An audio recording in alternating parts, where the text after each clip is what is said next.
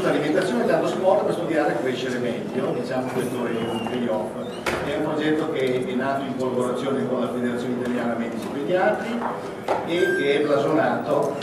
siamo blasonati, perché il Senato, la Camera e il Ministero della Salute ci hanno dato il loro patrocinio insieme alla Expo Progetto Scuola e la Regione Lombardia. Eh, beh, col tempo insomma, cresciamo. Eh, bene, diciamo eh, il tema dell'obesità è un tema abbastanza eh, grave e importante, l'Italia poi ha un bel primato anche in questo, in questo senso, ahimè, eh, quindi avete visto il 23% dei bambini italiani sono in sovrappeso, 1 su 4, il 9,8% è obeso. Questo tema che coinvolge fortunatamente non solo l'Italia, eh, però è un tema che molto,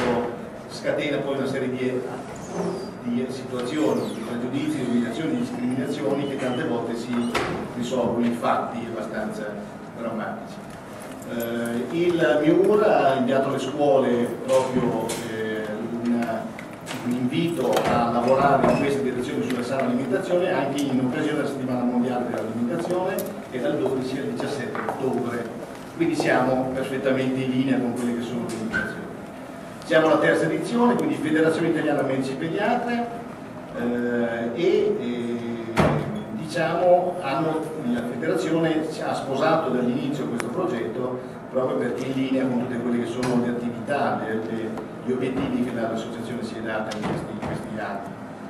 Eh, diciamo che eh, quindi sono, i, i, ragazzi lavorano insieme agli insegnanti con un kit didattico che è gratuito, va chiarito perché nelle scuole italiane siamo appunto in queste condizioni, ma noi siamo felici, quindi il kit è gratuito, all'interno del kit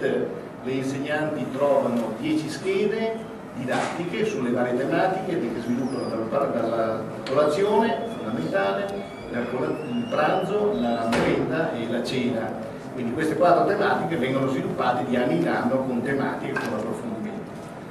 Eh, C'è un gioco di classe, il famoso gioco dell'OCA che abbiamo riqualificato perché effettivamente i bambini imparano giocando. Poi abbiamo degli insegnanti, qualcuno ci racconterà queste, queste esperienze.